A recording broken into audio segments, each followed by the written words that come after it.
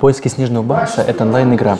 Во время ее прохождения обучающиеся знакомятся с технологиями, которые прямо сейчас помогают сотрудникам Алтайского заповедника отслеживать популяцию тех самых барсов с помощью нейросетей.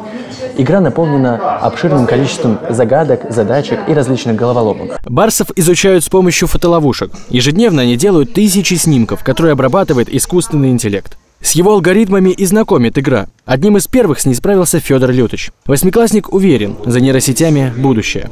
И напомнил о технологиях, которые мы сейчас используем в повседневной жизни. Несколько десятков лет назад мечтали фантасты. Так что прогресс шагает по миру семимильными шагами, и за ним нужно успевать. Ну, скорее всего, в начале лет, где-то ближайшие лет 10, все это будет постепенно прогрессировать, а где-то около промежутки от 50 до 70 лет просто кто-то создаст искусственный интеллект в режиме оракула, который будет приносить какой-то компании миллиарды долларов. Такие занятия не только знакомят ребят с технологическими новинками, но и носят профориентационный характер. Ведь толковые айтишники сейчас востребованы не только в нашем регионе, но и во всей стране. Это время уже диктует, потому что, ну, Представляете, что было 20 лет назад и какое информационное поле было у детей 20 э, лет ну, они уже, конечно, дядьки и тетки взрослые, вот. И что сейчас? То есть, допустим, когда я была в их возрасте, такого информационного поля не было.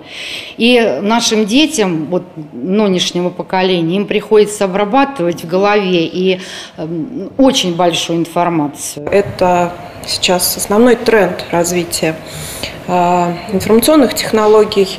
На прошлой неделе президент России Владимир Путин участвовал в конференции э, по э, искусственному интеллекту и подчеркнул также важность развития этих технологий у нас в России. Ребята не только играли, но и прослушали интересную лекцию от представителя крупной финансовой компании.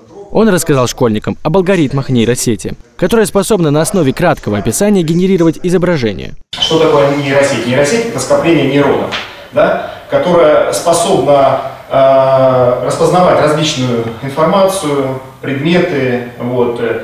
Э, и скопление этих нейронов способно обучаться, оно действует последовательно, оно принимает запрос информации и может выдать э, э ответ, результат вашего запроса. Да? По принципу нейронных связей работает наш с вами головной мозг. Да? Почему называется нейросеть искусственным интеллектом? В регионе уроки цифры проходят регулярно, на протяжении уже трех лет. По словам учителей, благодаря таким интенсивам сейчас все больше выпускников выбирают профессии, связанные именно с IT-сферой.